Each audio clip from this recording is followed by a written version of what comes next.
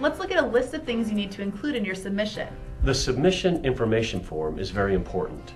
It will first ask for your book's title, a subtitle if you have one, and your pen name. Then you'll choose your final book size and enter your About the Book and About the Author text. It's also where you can share your thoughts and ideas about the cover design and interior layout. The most obvious item you'll need to send is your manuscript. Please send only the complete final manuscript in a single merged file. We don't need to receive any partial manuscripts or early drafts. If you are paying for file merging, please be sure to also include a document explaining the order in which the files should be merged, or be sure the files are labeled in chronological order.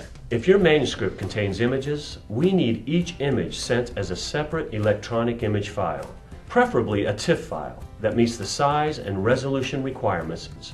Be sure there are image placeholders typed directly into your manuscript and that they refer to your images by their file names. If your images have captions, we need the captions typed directly into your manuscript, along with the image placement instructions, or they can be sent in a separate document labeled Captions. You are welcome to send one or two images for your front cover. Please be sure to include the word cover in their file names. Also be sure they meet the size and resolution requirements. If the images aren't your own, be sure that you have legal permission to use them. You may send a photo of yourself to accompany your About the Author bio. If the bio and photo are going inside the book, the photo will count toward your image limit.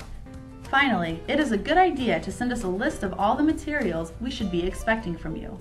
Call this document My Submission List, and be sure it includes your full name and the title of your book. This document will serve as a checklist for us so that we'll know when we've received all of your materials. If you have any additional submission concerns, you are always welcome to contact us. We look forward to getting started on your book.